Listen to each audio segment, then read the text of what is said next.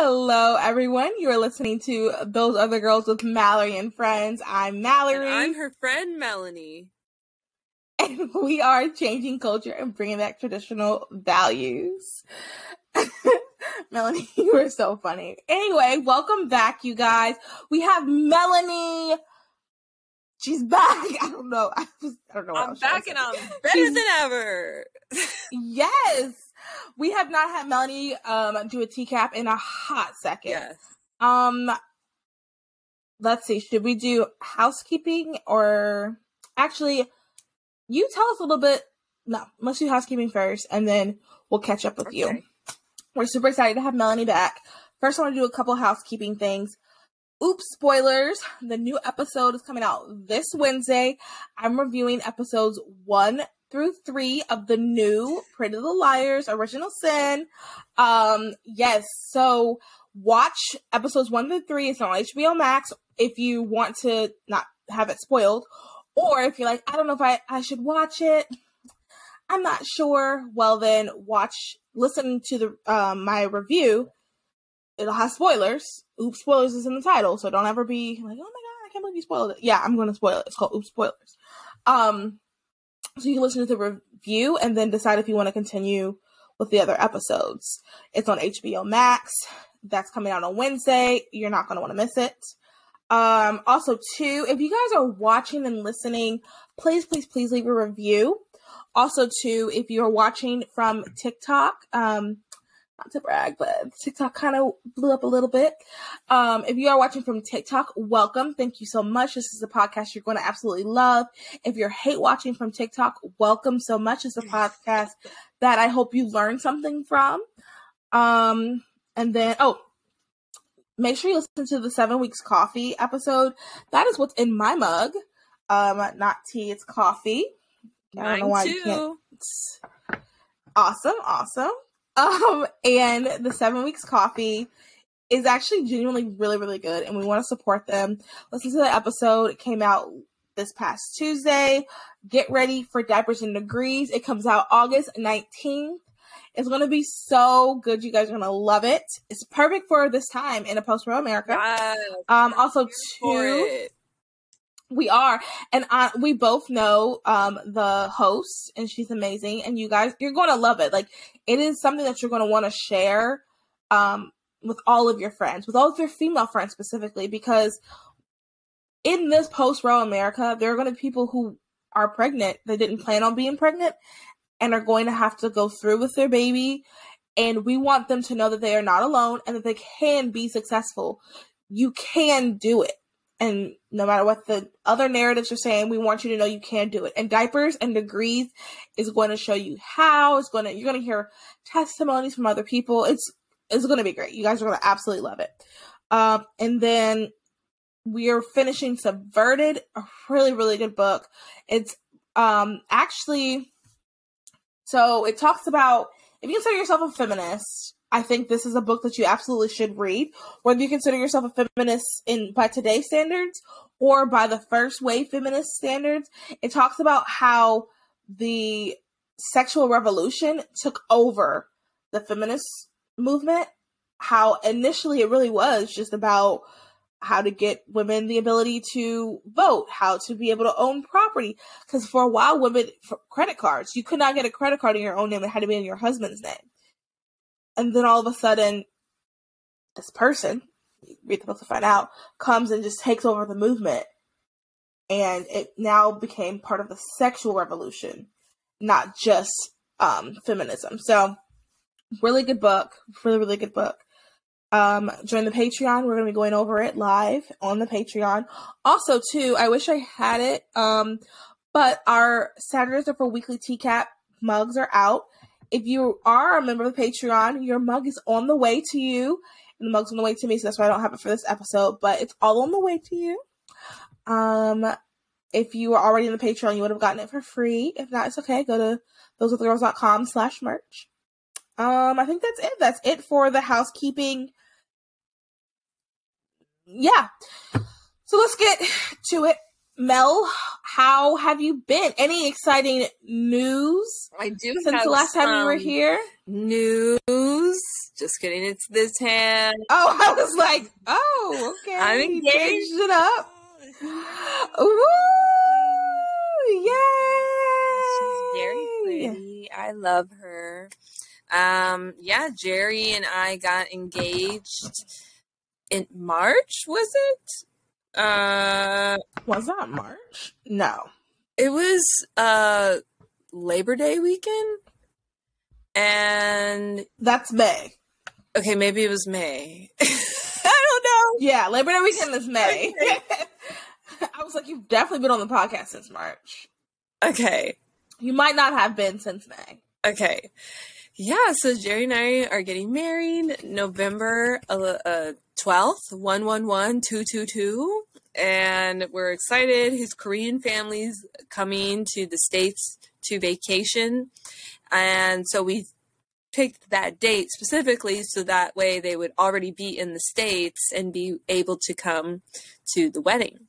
So I'm really excited to get married. It's been a lot of ups and downs emotionally for me. Mallory has all the tea on that. Um, and I just want to say while I'm talking about it, engagement season is hard. Um, maybe not for everybody. I think maybe the movies and shows make it seem like this is a blissful time and you are forever in love and then you get married happily ever after. And I think that those feelings come and go, but I think during the engagement season is also a time of discernment, of uh, Mhm. really asking the harder questions to yourself and the person and really digging deep.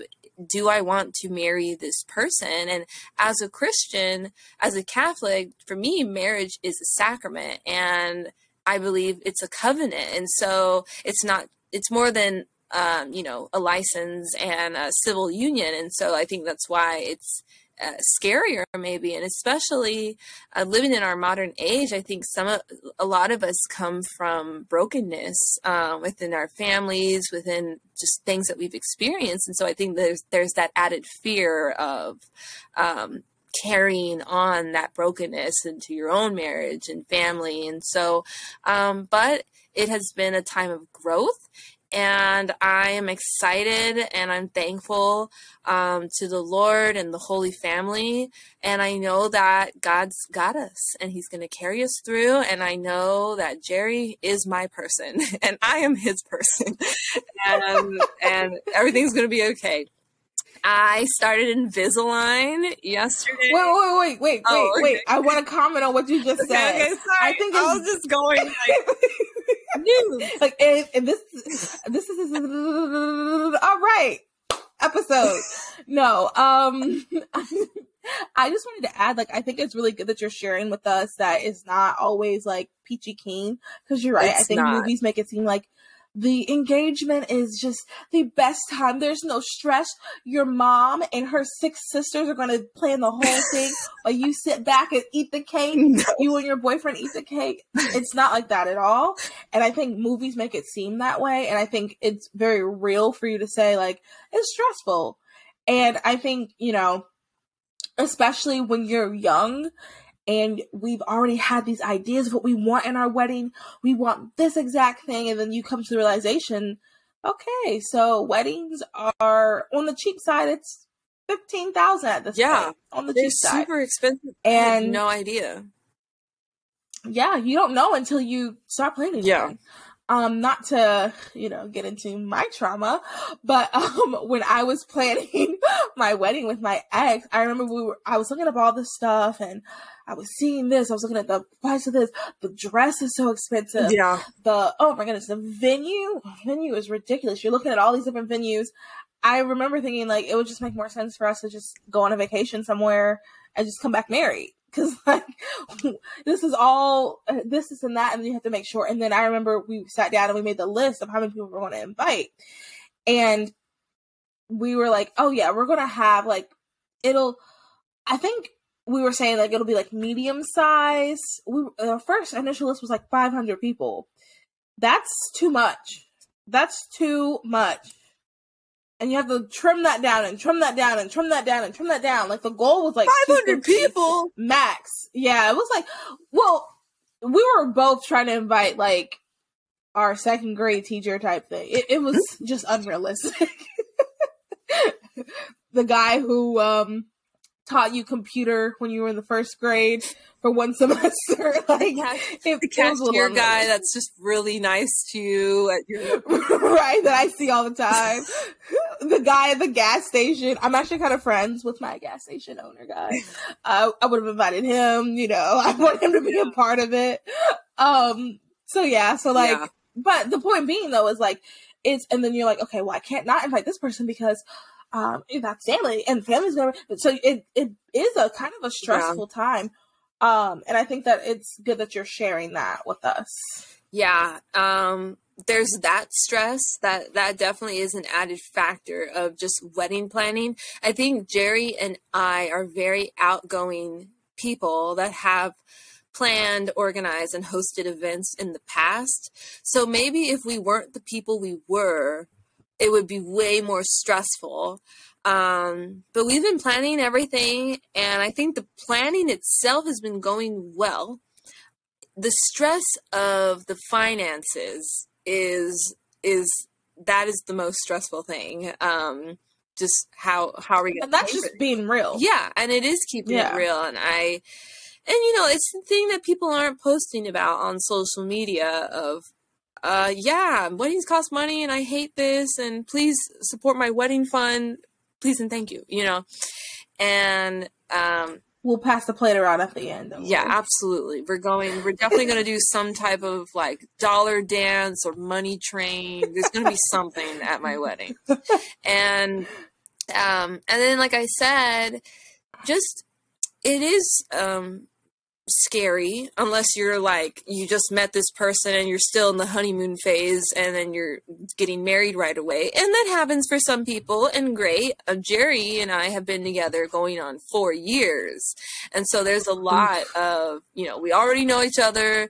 The mushy gushy feelings aren't necessarily there not all the time. And so there's a lot of seriousness of you know it, it's scary do i is this my person do i want to be with this person and and again i think that's something people don't really talk about that there's those emotions too and that um, it is still part of the discernment process because you have until you say i do the, the freedom to leave and um, Yeah. the freedom to choose It gets harder the closer it gets, I will say, you know. So like that's why try, trying to make decisions before, but it does get hard like, you know, yeah while you're up there, it's going to be a lot harder to say, you know what? No, as opposed to, you know, when he asks you to get coffee for the third time and you don't really like him, you know. Yeah. So just a heads up everybody like Yes, it does get harder as time goes on. And um, a friend of mine gave me the analogy, this is in any like hard season you're going through, is there's always the crucifixion before the resurrection. And so I think Mm. that an engagement season where you've been together so long and maybe you're having these feelings of i'm scared. I don't know. Is this the person? But i love him. And and then how are we going to pay for this? And where are we going to live? is another like real question um, we have to still you know figure out an answer to. Um, i would say right now is kind of that season of, of a crucifixion time. It's hard but i trust in the lord that when we are married and we receive the graces from the sacrament of marriage that it will be a resurrection season that that prayers will be answered that things will make sense and that together and with the graces from God that you know it will be a season of like okay all that pain was worth it cuz now here we are Yeah, beautiful. and last thing I want to say on on the whole marriage thing is, I think as Christians, it is something that we take. I think I know as Christians, it's something that we take very seriously. So the, I feel like the from what I've seen, it seems if the world is kind of like, oh yeah, I love him, he makes me happy, and if you just go off of that, then like, oh, you know, he doesn't make me happy anymore. Next. He doesn't make me happy. Next, Mm, next, yeah. next. So it doesn't really matter. yeah But as Christians, we're like, there's going to be, de- like, the reality is, no one's going to always make you happy. Yeah. Your parents don't always make you happy. Your lover doesn't always make you happy. Your kids are not going to always make you happy. So you have to decide. Sorry, y'all. you have to decide that you want to be with this person, and that's something that I think. I think non Christians can have that mentality, but mainly Christians, I do believe, have this mentality because we, you know, once you're in it, you should not get like divorce should not even be on the table. Yeah. Should not even be on the table. So that's what makes it a little bit more intense where it's like, okay, this is people not people. I've heard people say um things like, well, you can always leave. Well, if you're a Christian, I'm sorry, you can't. If you marry someone, you cannot always leave. I got into a discussion with someone on Instagram who later unfollowed me, and uh, we were talking about like some we got on top of divorce somehow, Mhm. and um, she's made the comment that like it's perfectly fine to divorce a man. Let me see if I can find it really quick. She said something like, um, let me see. I definitely think Sorry, y'all. like Go ahead. yeah, as Christians, if you believe marriage is a covenant between you, your spouse, and God, then yeah, it's not something you can say, well, I don't really love you today. This is boring. This sucks. Goodbye. Um, it's it's not like that. It shouldn't be like that. And it's so it's so it's it's I think it's a, definitely a part of our fallen culture that divorce has become so prominent, you know? We know people, we love people that their their parents are divorced and it's so common. Over fifty And percent, it shouldn't be even in it shouldn't even be normal. You know? it should not. It And- should not. um i um like we like i said if you view marriage is a covenant then divorce shouldn't be an option i do think though if there truly is abuse if there is Absolutely. safety or the safety of your children no question about it please leave immediately if not sooner you know what frustrates me about these conversations is like I wish we didn't have to add that disclaimer, but no matter what, everyone's going to say, "Well, what about abuse?" Absolutely, it's a no-brainer. If someone Yeah. is abusing you, you must get out of that relationship. It's for your safety. Um, but we always have that. We always have to put that disclaimer because people don't give you the benefit of the doubt. yeah Obvious, like we're women, we're humans. We're not. We don't want someone to stay in an abusive relationship that should be automatically understood. What I was going to say is, so she made the comment, um, um, you just might have a husband who's a loser and doesn't help you. That's also a very valid reason for divorce. but you married Well- the loser like you should have figured that out before you married the loser then A, B, Yeah, that's we all go through Figure it out before you marry the loser. Right, right. But also we all go through seasons. What if maybe he's a loser now? He had a um he was just thrown out. He was in the military. He uh had to leave because his something happened to his foot.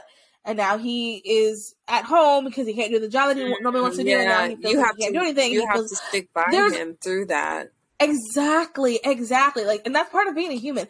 And that is our problem in society in general. We don't stick with people. We kind of just like, well, they're no longer serving me.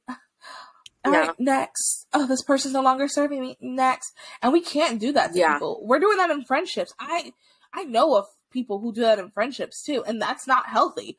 That's all part of the self-love. It's no longer serving me, so I'm going to do this. Blah blah blah. That's not. I'm sorry. That's just not right. That's not how. That's how we got to where we are as a community, where we have all of these social issues, things that are wrong with us. Is because we're not caring about each other in the way we're not working through a situation. This person did this to me. Okay, let's discuss it. We're not moving forward. Um, and another thing that this is super random, but also too in that same conversation, we had this. We got to a point where I said, "Well, actually, God doesn't." necessarily want us to be happy. He wants us to be holy. And sometimes what we think is our happiness does not align with what is actually holy. So then, Yeah. I mean, I don't know what to tell you. He prefers for us to be holy, not happy. Now, does that mean that everything you're going to do for the rest of your life is sad? You're going to hate your life? You're, you're going to feel this awful dread. No, you're not supposed to feel that. But at the end of the day, like holiness over happiness. Yeah. Um, and that's just something we had in the conversation. Maybe someone needs to hear that. I hope you receive that well, whoever hears it. Holiness over happiness. Yeah. Anyway, and like anything when- you want to add, Mel? well, and when you marry, you're s- supposed to be marrying in sickness, in health, in rich and poor, for better, for worse. And so that means you're you're signing up to say, I'm going to stick by you no matter what, in the good times and the bad times. And um and it's not not to say that that's going to be easy, not to say that you're going to be happy like how you said, but I do think that that will I lead to your sanctification, sticking through that and saying, like, this is our cross to bear for the time being. You've been discharged from the military unexpectedly. We lost, you know, uh, half of our income or whatever, but we're going to keep going because I love you and I'm choosing that because love is supposed to be a choice because you don't feel it all the time. I don't look at Jerry all the time and think, wow, I love this guy, you know? um i get really angry and that's but that's life as a girl and as a human loving some choosing to love somebody and i know for me personally one thing i really love about jerry and i hope that other girls will find this in their partners and their spouses is somebody who will stick by you and Jerry has shown Mhm. me that throughout our relationship in the highs and the lows and the beautiful and the ugly, he has stuck by me. And that is part of marriage is sticking by your partner, like how you said, Mallory. Um, I do think, um, you know, there's also that culture of, uh, like swiping left or also like there's Mhm. always somebody else out there because we've been so exposed Mhm. to social media and um Mhm. Like somebody said to me like even if you're not on Tinder or Bumble like just having social media like being alive in this time being young it's kind of just a part of our culture of like oh well, there's always somebody else out there you know and Mhm. um maybe the the paradox of choice. There's so many options. You're you can't choose one um or you um but you know 50 years ago pre social media there wasn't that well you know there's somebody else out there you know? So this is your person. Maybe we can do a whole episode just about I was just engagement we could, and um, marriage prep. I was I have definitely more content to, to give on that. Uh, I was just thinking that we need to do something like that. Um the other new thing I wanted to say is that I got Invisalign yesterday, and so for all the viewers on uh, YouTube, here's my Invisalign, yay! And I got it Yay. because I've been wanting straight teeth for my wedding day. Like that's been a desire of mine. I didn't think that would become a reality, but I finally decided it is literally now or never. I do it now or it's just not going to happen. I'm just not going to have straight straighter teeth for my wedding day. And it's happening. So, if you hear me Thank sounding a little funny, that's why. And I just wanted to share that. And yeah, message me if you're considering Invisalign and you want some advice. And I I would love to talk with other people on their Invisalign journey. And um, those are the main new things in my life. Wedding planning and Cool. started Invisalign. cool. What is the best thing about Invisalign so far? Um, I would say, um, I like knowing that it will come off really soon. Whereas I, I don't know how long it is for people with braces. Um, I like that, you know, from far away on this video, you would have no idea I'm wearing the uh, Invisaligners. And I like also, I can take them off and I can floss normally, whereas br- people with braces, I don't think they can floss normally. So I'm glad I have that freedom to brush my teeth and floss normally yeah, I'm just excited to switch it out every week, and that's going to be exciting. Um, I don't know how it is for people with braces, but for me, I have my aligners for the next three weeks. So I know every Wednesday morning when I wake up, I get to put on the next tray. So that's exciting to have, I guess, that like autonomy of, okay, here we go, next level up, and see what happens do you feel so like the first day you felt the shift almost or no?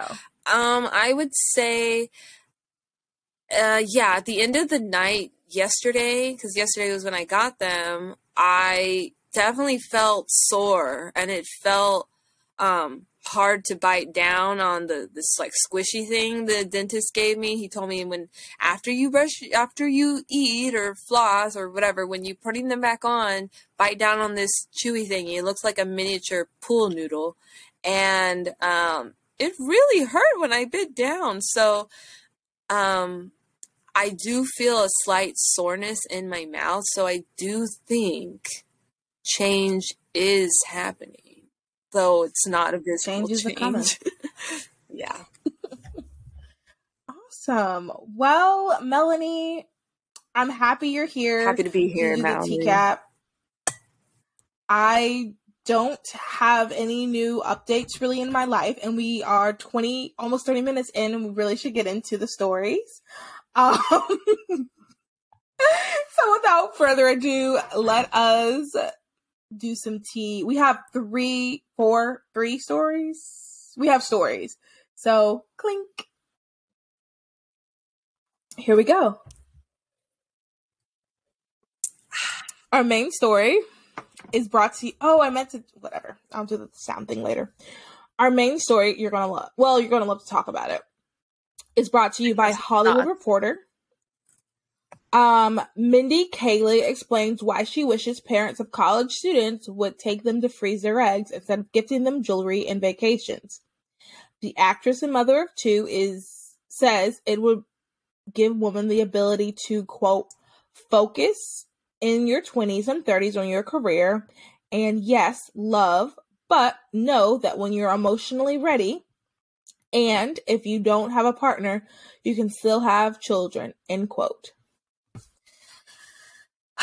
You want me to go first, or do you want to go first? Uh, I'll go. Well, okay, go ahead. I am completely anti freezing your eggs. This is horrible. It is completely disordered, and this is just another like result of our fallen society that does things out of order because God designed us with a plan and a purpose. And there's a reason why you uh, meet somebody, you get married, then you have children. And when you don't do things in that order, chaos happens. And so I believe also that freezing your eggs is also disordered because it is it takes a um, it creates a life outside of the marital act. I believe as a Catholic that sex was made um, with two purposes in mind, and sex is good, and God created sex. I've heard some people it's um, an act even of worship. consider it as a like a form of worship to God, and I think that's beautiful. And so the purposes that I believe are twofold. One is for the pleasure of spouses. We could say bonding. And one and the other is for openness to life. Not that you make a baby every single time you enter into the marital act, but that there's at least an openness to procreation because that's what happens. That's where babies come from, is sex. So again, bonding and babies, aka openness to life. And so I believe if you ha- have having one without the other is disordered and I believe is a sin against God.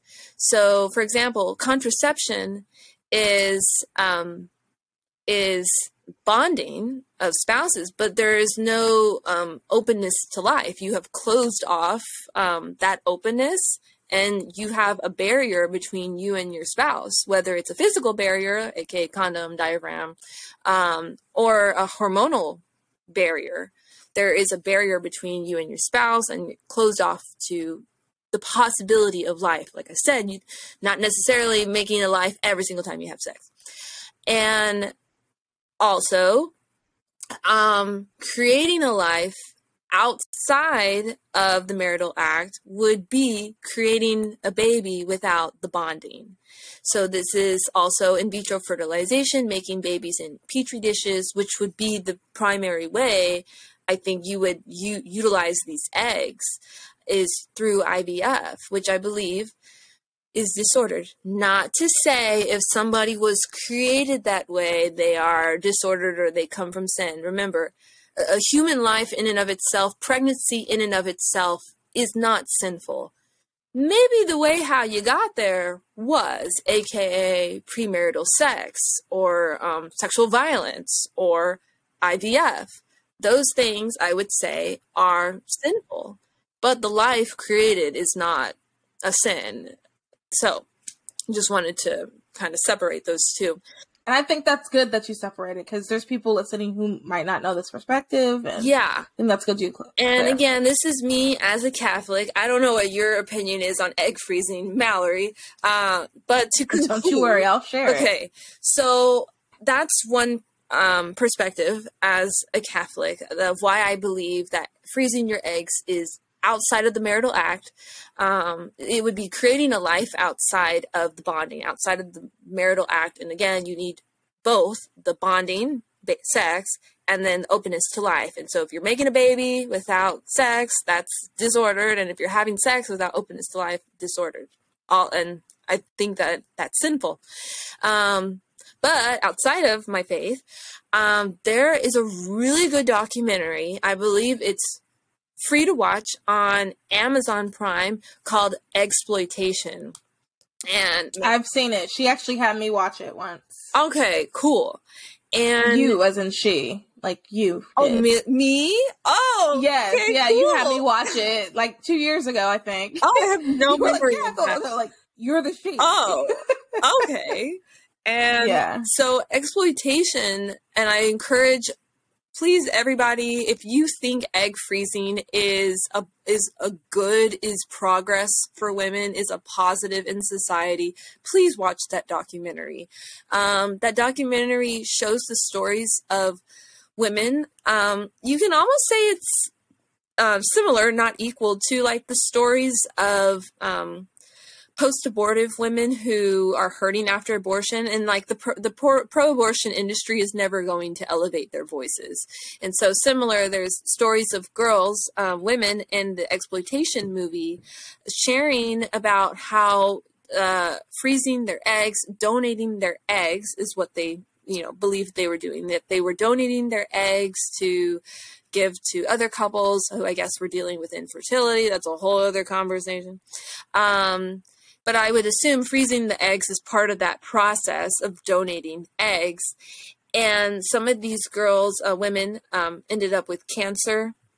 I believe uh, one of the girls uh, talked about in the documentary died after. And so there's just other stories of girls like that who, like the egg freezing, the egg donating surrogacy industry is never going to elevate their voices, at least I don't think so.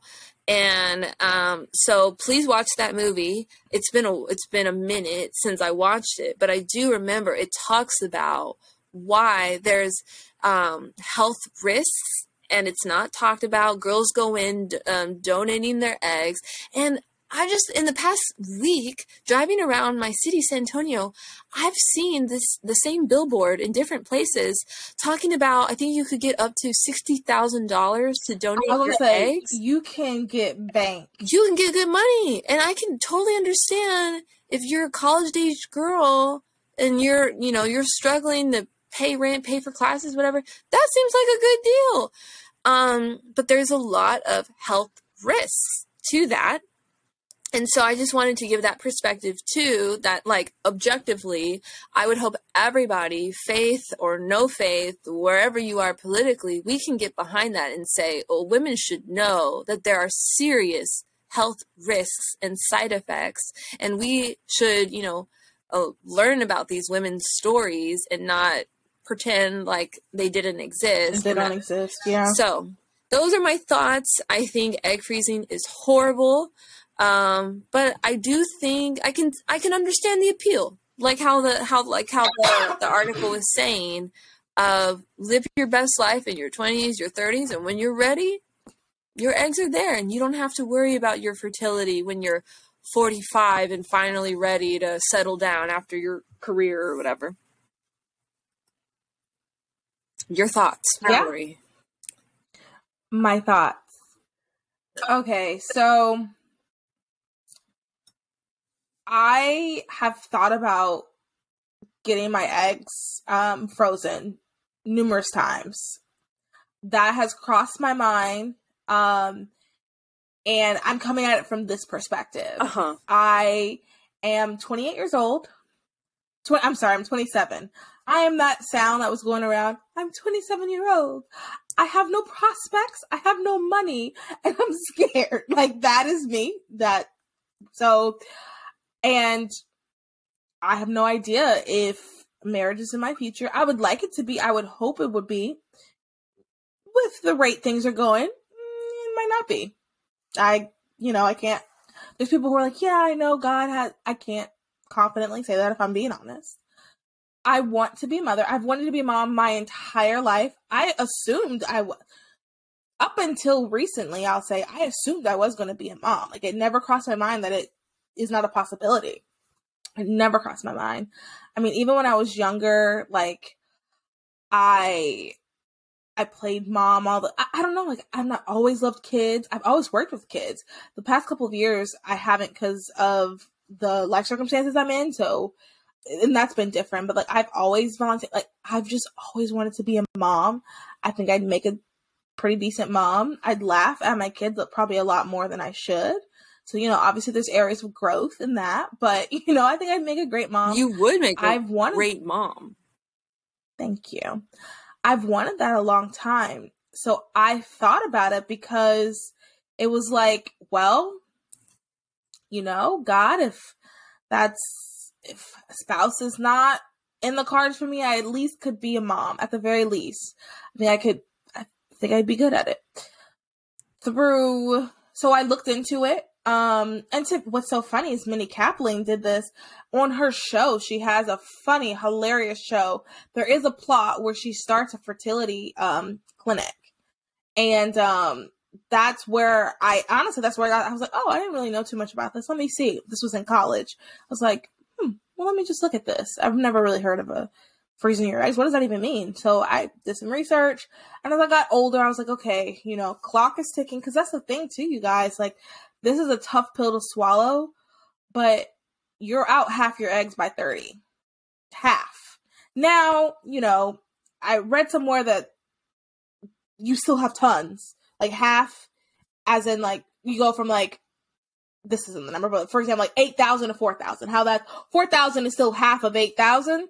So that's still less than 8,000, but that's still a lot. So not those exact numbers, but that's what I heard. So like all is not lost if you get pregnant after 30 like it's not over. But the reality is like it's harder. The reality is like you know especially in the conservative movement in or in the conservative world in general men are not really looking for women in their third like i'm just being real.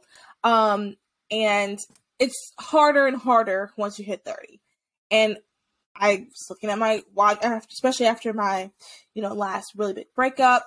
Okay realistically this is not me getting married is becoming lesser and lesser possibility.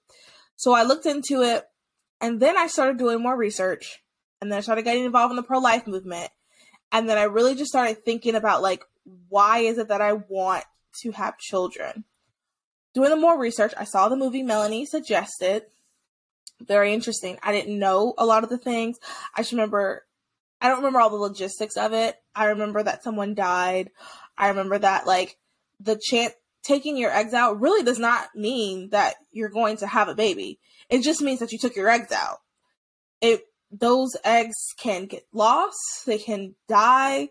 They're the chances of okay, you took the eggs out, great. Now you got to find a sperm donor. Okay, cool. The cost, I didn't realize how expensive it was. Like going into it because on the show, um, young college girls were doing it. And, you know, when I was doing research about it, people weren't really talking about the cost. They were just like, yeah, this is good. This will, if you really want to be a mom one day, this is a great thing to do. If you're think, cause here's the other aspect of it. And I think that conservatives don't realize this, especially when you're talking to other conservatives, especially single women. There's tons of girls out there like me. I was not one of those girls that wanted to put my career first. I'm in a career and my career is first because I have no other option. If I don't work I'm just a bum at home with my parents. Like, no offense to bums or anything. Like, I'm trying to insult anybody, but like, I have a career because I need a job. I'm 28. I can't just 27. I keep saying 28. I'm 27. I can't just sit at home. You know, it's not because I want to put my career first, not because I don't want to be married. That's not not the case at all. It's not because I don't want to date. You know, because there's are women who are like that, who are like, no, I'm not going to date till I'm 35 because I want to focus on my career. I'm not one of those. And I've talked to girls. Some of you are listening right now. You're right there in the same boat as me. You just haven't met anyone for whatever reason. And I think sometimes the conservative movement forgets that, so they make all these comments and assumptions about people. And it's like, no, some of us are focused on our career because we have no other option. Anyway, so I started looking at that stuff and I'm like, okay, I, this, okay, something feels wrong.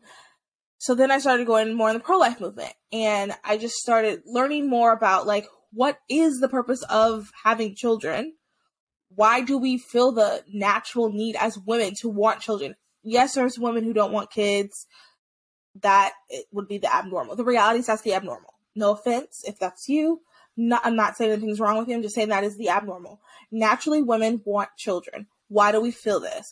Why does it hurt when a woman gets an abortion, even if she wanted an abortion? Why is she still sad?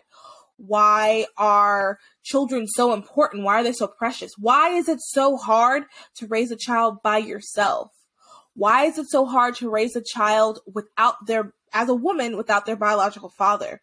Why is it so hard to raise their child with two of the same genders. So I started learning and re- doing more research and learning more about that. And I just came to this conclusion that, like, God's design is man, woman, child. And unfortunately, if I don't have the man, it is outside of, it's disordered, like Melanie said. Um, it's disordered, and I don't have God's best. God's best is man, woman, child. If I don't have the man and I just go woman, child, it's not God's best, it's disordered. And if I truly love a child, I would want the child to have man, woman. I would want the child to have a mom and a dad.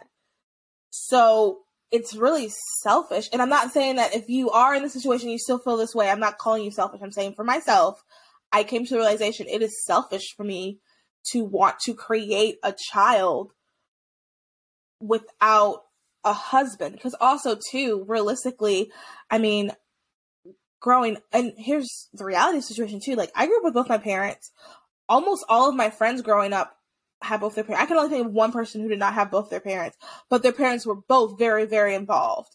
Uh, their parents were divorced but they were very very involved.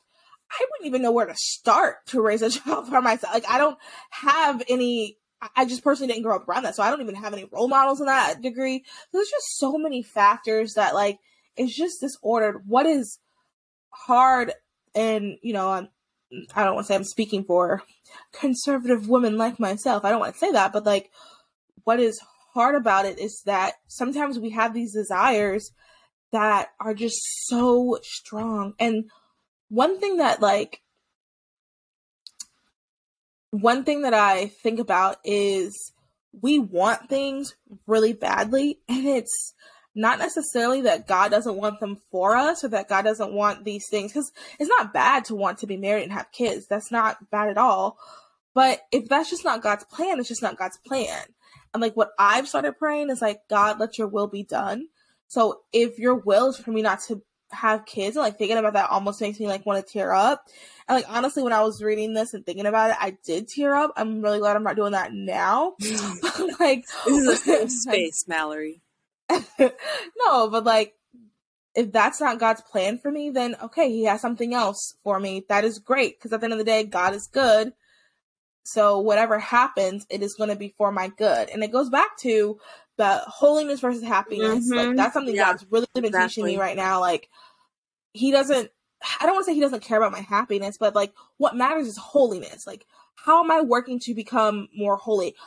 Me creating a child without a husband, um, that is more for happiness, yeah. not holiness. At the end of the day, I have to put holiness above happiness, even if that means that I don't have something that I really, really want. I I cannot express how badly I want a daughter that I want to also say, in case God's listening, that looks like me. Nothing wrong with daughters that look like their fathers. I just cannot imagine birthing a adorable little girl and she looks just like my husband.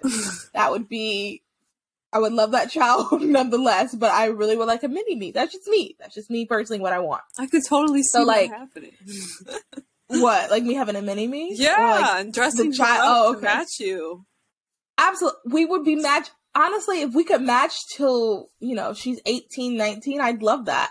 Mm. but my whole point being is like, that I'm not saying God doesn't want that for me. I'm just saying like that might not be his plan and that's okay. There's so many other ways this desire can be fulfilled. Um, you know, being a good auntie, um, you know, we're, honestly working in the pro-life movement. I, you know, the more I get involved and the more I do things with the women that are pregnant, I'm going to get my fill of babies. Like it's not like, it's not like there aren't the whole purpose is babies. Yeah. it's going to happen. So, you know, I think that what's this goes back to what we've talked about before is like the idea of like pleasing yourself. So hearing Mindy say that, I totally understand where she's coming from. I totally understand the hardness of it in the sense of like it is really hard wanting something that like you because what what's so hard about like relationships and stuff like this is it's not just you and like sorry it's not just like me wanting something and like for example like a career. I can work hard to get this career.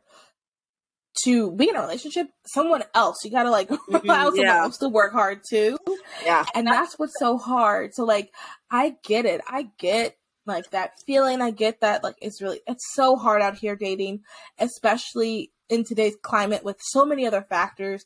Guys are looking for things that just really, you know, guys love to say women are looking for the 1%.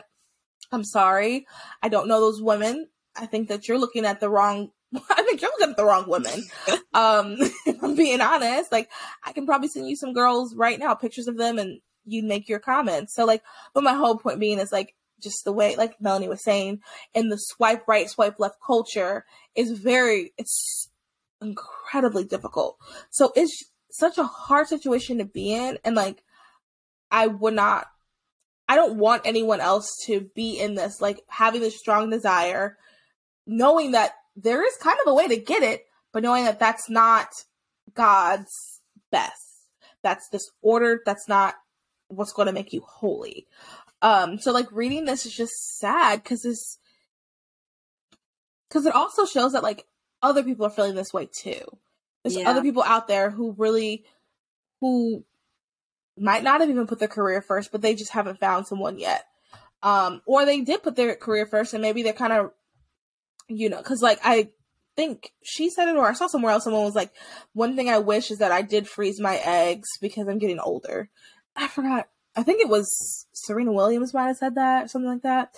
She wished she freeze her eyes because she's getting older, something along those lines. Like I've seen that recently. So like it's just it's sad that we've gotten to this point in society, um, that we've gotten there. So yeah, that's my two cents. More like uh two dollars, but that's how I feel. And if you're out there and you're in a similar situation, no, you're not alone. Um God could have somebody for you. He could not. Um, it's possible. I think the prayer should be God's will be done. And the older we get, the reality is women have a bio- biological clock, men don't. Not fair. Um, but this is how God created us, and that's okay. Like, there's nothing to write home about. You can be frustrated, like, dang, I wish I could be 80 and still, you know, even have eggs at that point. I'm pretty sure. Well, you know what? I guess anything's possible. Um, but realistically, what'd you say? I said anything's possible. Yeah. There's Elizabeth in the Bible, Sarah, so it's anything possible. Is possible, technically. Just technically, but realistically, you know. Um but this is just how it is and yeah, I wish I had I wanted to trying to end it on like a lighter note, but I can't really. Well, I have lighter. some thoughts um, to add okay, to what you're it. saying. Like when while Please you do. were talking, I was you did remind me that I believe children do have a right to a mother and a father, and I know that there are people who work like in the children's rights space to be a voice and advocate. I'm trying children. to have one of those ladies on the podcast. Nice, so. yeah, because mm-hmm, children who you know are not of of complete, you know, developmental um, age to consent to things. They can't speak up for themselves. Like, no, we have a right to a mother and a father, you know? And mm-hmm. um, so that's something that I was reminded of that um, same thing, whether you're wanting, I, I remember I knew a friend in college who was considering the idea of adopting a child like he also had the fear of i'm never going to get married and what if i just adopt? And um, i think he discerned out of that idea but you know similarly just to just put it out there whether you're a guy wanting to create a life or adopt a life or you're a woman wanting to create a life or adopt a life um, or people that are in same same sex relationships also wanting to adopt or create a life, it is disordered. That God designed us to be man and woman, and that children have the right to a mother and a father. Uh, I wanted to add too, I um, do think that there is beauty in um, you know, sacrificing your desires, like saying, God, I really want this thing, but I lay it down at the cross. It doesn't make sense right now. I'm not sure why, but I'm surrendering this to you.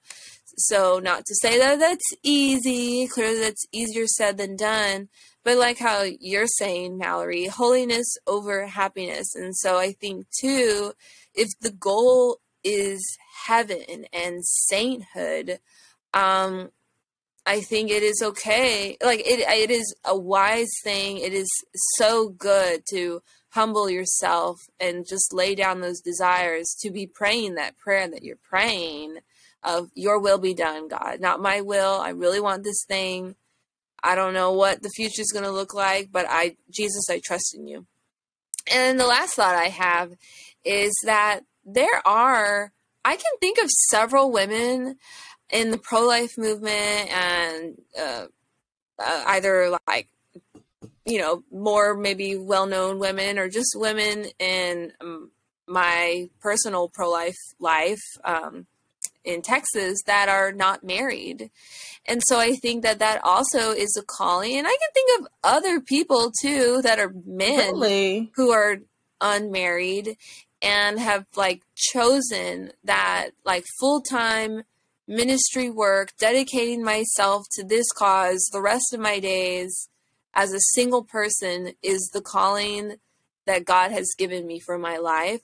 And um, so, not to say that that's everybody's mindset, but I I do know of some men that have that mindset, and yeah, so I just wanted to share that point too that I think that there are people who maybe are called to full time like ministry work and because the reality is, you know, like um you know, a single person can give way more time than mm-hmm. the married person with five kids at home. It's going to look mm-hmm. a bit different the way how we help in pro life movement.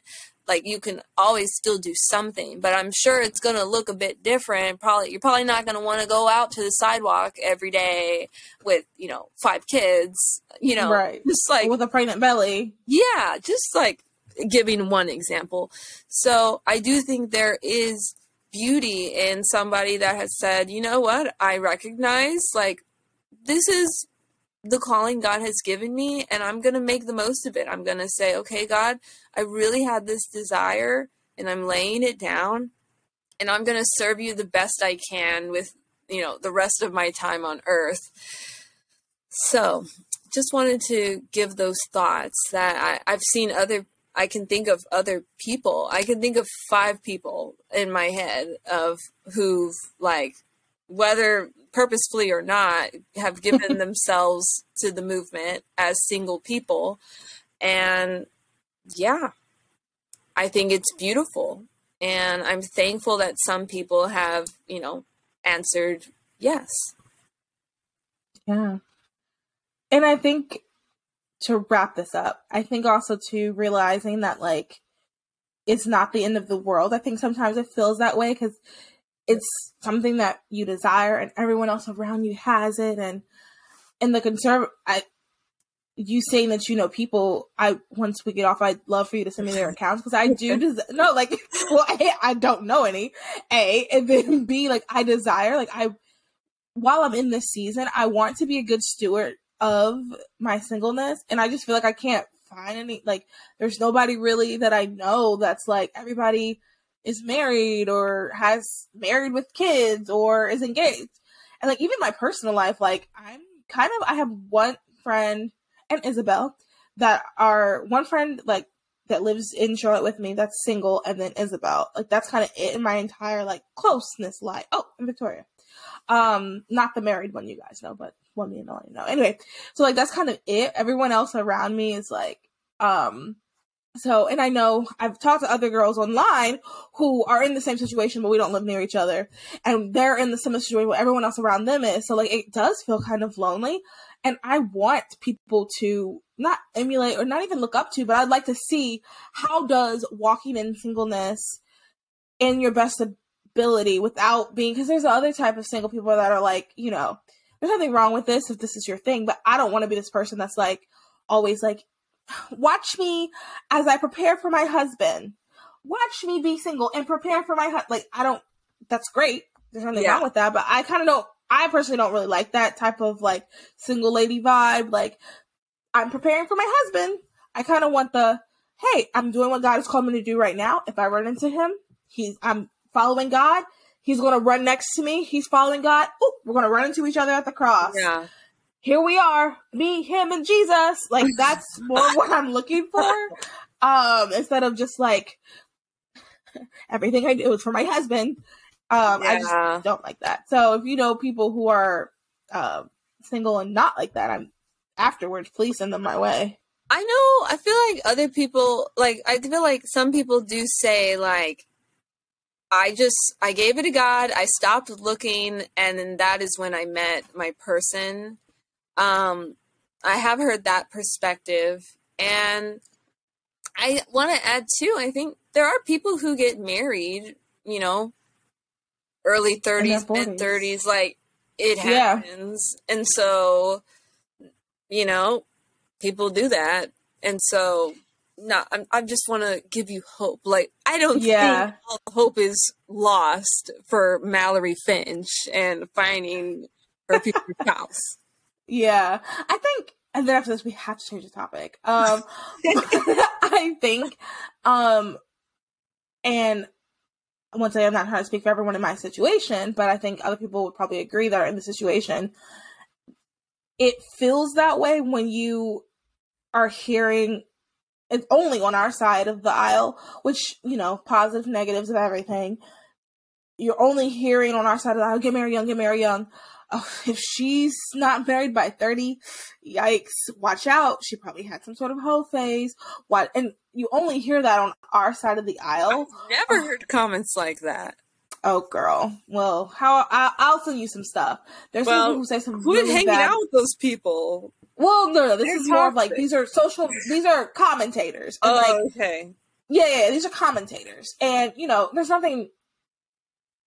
There's some validity to that statement, I'm sure, but that's not my situation. I'm thinking mm-hmm. of two girls who listen to this podcast. That's not their situation. Yeah. Um. So you know, I think a lot of it is discernment too, because if it's a good man that is a Christian following God, he can use discernment like, hey, we just didn't meet. That's why she's still single. Yeah. As opposed, yeah. So like, there's always those things. It's just sometimes these things get into your head, like, oh dang, is there something wrong? I don't know. Anyway, that's enough of that. You guys do your research on um getting your eggs removed and I just don't want to throw in a little um ad there um, for all the Catholic people out there, or even if you're not Catholic, there is the uh, National Catholic Singles Conference every oh. year. Oh. Where single Catholics, I guess from all around the world, come together and listen to some awesome talks. I've never gone. I think I would like to go just to like meet other Catholics, but it sounds like it's a great place to meet people if you like know you're single and you and other people know they're single and then you just like go. So sounds like fun. Um I know some people, well, one person specifically that married someone she met off of Catholic Match. So I think like the Christian dating like app space is def- is another thing to try. Um, I just want to recommend it. I know Mallory has tried everything under the sun. Um, I even tried yeah, the Catholic dating conference that probably you didn't know existed until I said it, and then and then Catholic Match and like uh, uh, Christian Mingle and FarmersOnly.com. So like, I think those are cool. Yeah, yeah. These are all options um, for people out there. Well, like why not? I just like why not? Like just shoot your shot. Like just do the thing. Like the way how Jerry and I started dating is because I just shot my shot and I flirted and I said uh, what I claim to be the best Catholic pickup line. So, have you been discerning the vocation of marriage lately? And now we're getting married. And of course, there was a lot of things in between that story, but but my point is is that I shot my shot. I was like, you know what?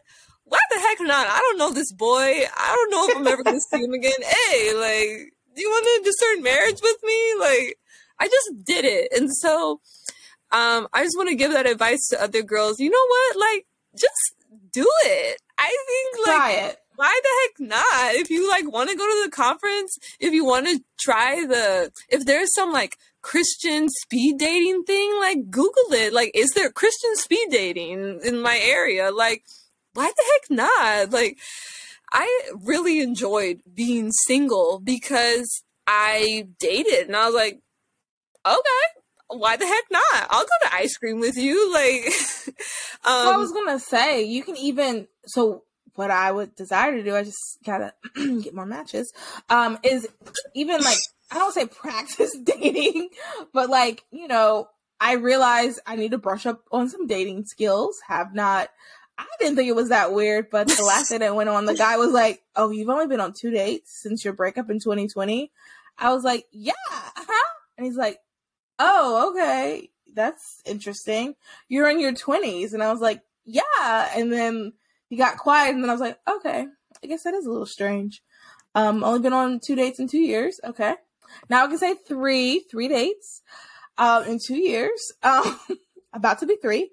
But the, what I was to say is, um, I realized I need to brush up on my dating skills. So even just, you know, meeting someone we kind of mesh a little bit um, at least practicing you know, meeting someone and not being awkward about it, I think would be good too. I want to give a recommendation for a movie I saw. And this movie is available on pureflix.com. The movie is called The Dating Project. It is a documentary came out in 2016. You can go to the dating projectmovie.com, the datingprojectmovie.com. And again, it's available to watch on PureFlix. And this movie is a documentary. Basically, there's this professor at I don't remember what university, but she gives her students every semester an assignment to go ask somebody out on a date and I don't know if this is like a sociology class or what, but the purpose is to try to revive a dating culture and teach people how to interact with each other like how we once did. And so I'm pitching the movie because in the movie, there's practical dating tips of how to ask somebody out, um, how long should the date be, how should you hug for the first time, and I recommended this to a friend uh, many moons ago, and he got married to the girl uh, uh, using the tips he learned from the Dating Project movie. So just want to pitch, pitch that movie. Um, you follow some real life people and you see their experiences, like asking people out on dates and how did the date go, and um, it's really exhilarating and learn some tips from that movie. 10 out of 10 do recommend. Okay. I'll have to check it out. Like, I think da- part of the reason why I feel like dating is hard now is because it's hard to know what people's intentions are. They can say, I'm here to date, but like, what does date mean? Which means you have to go into, okay, the first time, so you know, I'm absent. I try to get that out of the way, like within the first couple of, hey, what's ups? Just you know so we're not wasting our time. Um and you know i think that's kind of what makes dating hard is just knowing people's true intentions. So i do think that's why like christian mingle catholic match all that stuff is good because you can at least hopefully have a baseline even though i hear sometimes there's always going to be those outliers. Um yeah some bad apples. yeah but these are good things. Thank you melanie for the suggestions um really quick one of our sponsors is American Woman Beauty. Use the code MAL15 to get 15% off your purchase. We are an hour and seven minutes in. We've done one um topic. The next two articles are really kind of in a similar vein. Um I wanted to get more into the Serena Williams. I'm just gonna like kind of sort of talk about them and this is just a different episode today. Serena Williams, um, she essentially she's retiring and she is saying that she this is from Vogue. In her Vogue article, those you know she's retiring, she says, Believe me, I never wanted to choose between tennis and a family. I don't think it's fair. If I were a guy, I wouldn't be writing this because I'd be out there playing and winning while my wife was doing the physical labor of expanding our family. Maybe I'd be more of a Tom Brady if I had the opportunity. Don't get me wrong. I love being a woman. I loved every second of being pregnant with Olympia. I was one of those annoying women who adored being pregnant and was working until the day I had to report to the hospital. Although things got super complicated on the other side. And it almost did do the impossible. A lot of women don't realize that I was two months pregnant when I won the Australian Open in 2017. But I'm turning 41 this month and something's got to give. It's kind of the same thing what we've been talking about this whole time. Um, and then I just want to say this other thing too, we can just compare them really quick and then call it a day. Selena Gomez um, in USA, or I'm sorry, US Magazine, she, Selena Gomez revealed her hopes for a family and why she doesn't see herself staying in Hollywood for the rest of her life. Selena Gomez, complete dating his, oh, that's not.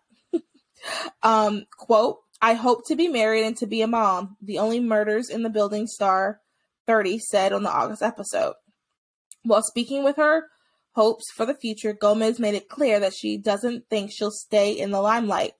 Eventually, I'm going to going to be tired of all this, so I'm probably going to devote most of my life to philanthropy before I peace out.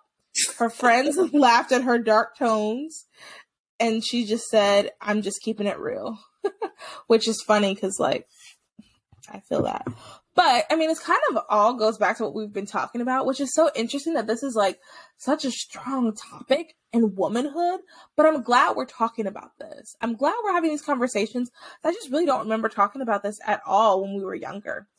Selena, not Selena, Serena Williams upset essentially she's saying that she um is not able to be the best tennis player. She wants to keep playing, but she has a woman body, so she has to stop. Um, unfortunately, she would love to keep playing, but she was born a woman. And Selena Gomez saying, you know what, as soon as I'm able to, I'm out of here. Like, I want to have my family. I want to leave the limelight. And I think it all just, it all goes back to, at the end of the day, like, even though Serena Williams is acting like she's upset that she is um, having a, or like she has to stop, I at the end of the day, it seems like she wants a family. Like earlier in the article, she said that her daughter um was playing a game and they're like, What do you want to be when you grow up? And the little girl says, A big sister, which is so cute. And she prays at night that God will give her a baby sister, which is adorable. Um, but my point being is like at the end of the day, we all it, sounds like everybody innately innate, innately wants to be a mom wants to be a wife, wants to have children.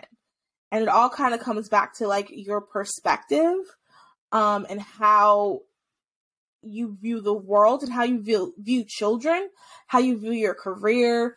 It's just all three of these stories are pretty much connected. What are your thoughts?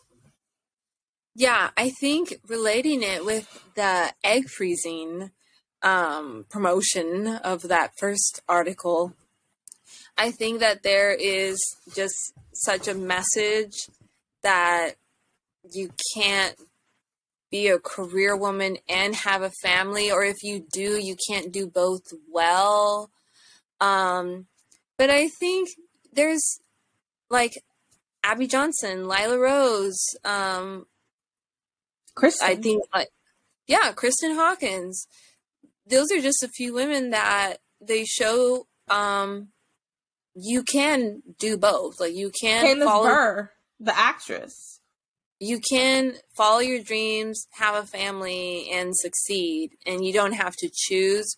And so it seems like, like with the egg freezing, like you can't do both. Focus on your 20s and your career and then have a family. And then, like with Serena, she's feeling like, well, if I was a man, I wouldn't have to do this, but I have to. Um, I will say, like, realistically, like, if she's pregnant, like, she shouldn't be doing all that. Like, yeah. But I think that's part of sacrifice. And that's part of being a woman. And I don't think that, I think we've made being a woman to be such a negative. Like, it's like a, our uh, feminine is a negative term at this point. Like we've made all womanly things a negative that like people automatically just put that in the oh, I gotta do it category as opposed to like, yeah, I get to do it. You know what I'm trying yeah. Yeah that it's like i i have to rather than i want to. Like i want to retire because i want to i want to focus on my family like oh but if i was a man i do think there is some truth though to what she's saying. I don't mm-hmm. is is serena married? Yeah. Does she have? Okay. She's married yeah. then, then i'm curious like if she wanted if the husband could why could he not be that support she's seeming like she wants well to continue with her tennis career. The thing is, she had to take if she wants more kids, she'd have to take months off. Yeah, being pregnant. true. I think like also wait. Side note, just so you know, she's married to the creator of Reddit. Oh, I had no idea. So they have the money, the support. I mean, they have everything. Like to yeah. for her. But realistically, because of, like if she was just an actress, it wouldn't be that big of a deal but like she's sports, so it's hard on her body. So like I think she has some validity. Like if she was Tom Brady, uh, Gisele is doing all that. There's some validity to it, but I don't think it takes away from like who you are. Like you're married. I mean, you're having sex. What happens when you have sex? You have baby. You know, like I just I don't know. Yeah, I can definitely under uh, try to understand her perspective and her frustration um, and I think with with Selena, I think her saying it's either my career or family, I think that's fine. You know, like that's what she wants. I just wish we could see more examples of people who say, you know, I can do both and it's okay. And that means I'm not going to star in as many movies or make as many guest appearances or late night talk show host, whatever. I'm not going to do as much of that, but I can still do the thing I love and have my family. And I, Bring yeah, the baby I, and the appropriate yeah. settings. The appropriate mm-hmm.